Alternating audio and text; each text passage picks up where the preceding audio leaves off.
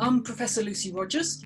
I am an inventor with a sense of fun. So, what that actually means for me is that I make one offs that people need.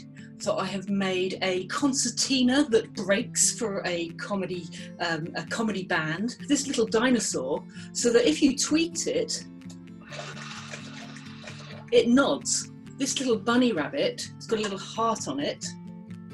And if my nieces want to send a message to my mum, their grandma, they just press its tail and it sends a text message to my mum. And my mum can send a text message to the bunny rabbit and the heart glows. So when they're too young to have phones themselves, they can still send messages to, to grandma. So I make those things and then I write them up. I make them for people who have the great idea but don't usually have a huge budget. But then there are technical companies who actually need great ideas and attention grabbing stuff and they want me to write it up in articles or how to's. And that's generally how I make my living.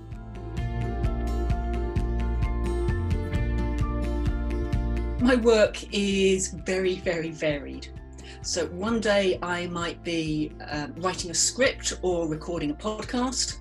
Another day I might actually be purchasing for a project that I know is coming up. Another day I might actually be making the stuff, and that's the bit that I really love most. And sometimes I'm learning new software so that I can edit what I've done. Um, I'm now doing a lot of TikToks and I'm learning some video editing software so I can actually cut what I'm doing, so I can show what I'm making and then actually cut it uh, to fit the, the 60 second limit of TikToks. I'm self employed. So I have to do all the stuff about running a company. So I have to do the accounts and I have to do my PAYE and I have to pay my tax and I have to put, input all my receipts. And to be fair, I find that a drudge, but it's part and package of actually working for myself and being able to do the fun things. I actually love finding the new ideas um, and people coming up to me and saying, I have this idea for a thing and I need to make this thing. And I've looked around and you can't just buy it. But another bit that I really could do without is the uh, purchasing. I dislike shopping. I really, really dislike shopping.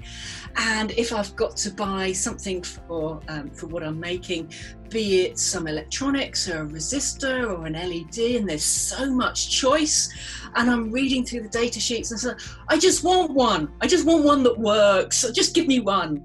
Um, so yeah, the shopping bit I can do without.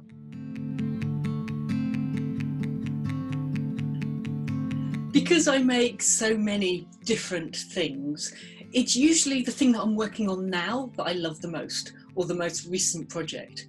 Um, but some things stick in my mind because I'm working with people or in industries that I would never have dreamt of. So a dressmaker got in touch with me and we started talking. Oh, she said, I have been looking for years for eight inch mannequins, so the dressmakers' dummies, because we make tiny dresses that we can take to the shows, but they look so flat.